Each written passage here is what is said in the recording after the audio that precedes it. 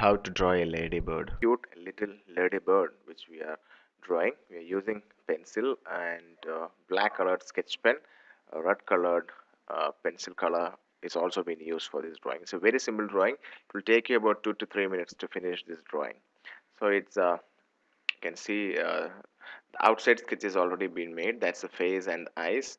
And uh, see that portion will be coming in black and the rear it will be coming in red with two three spots on it so the pencil part is ready. Now we need to color it in red. So i'm using faber-castell pencil color for shading it. It gives a, a, very light attractive red color over there. So that portion will be filled with red color. See it's been finished right now. And you need to color that uh, black spots are there. So we're filling it with black color. So that's also quite finished. Those are the legs of uh, the ladybird now coming towards the head and the face uh, that full portion can be uh, in black. So what we use is that the bigger black color sketch pen that's a whiteboard marker which i'm using all that to color it in black which can be done it very easily using that sketch pen.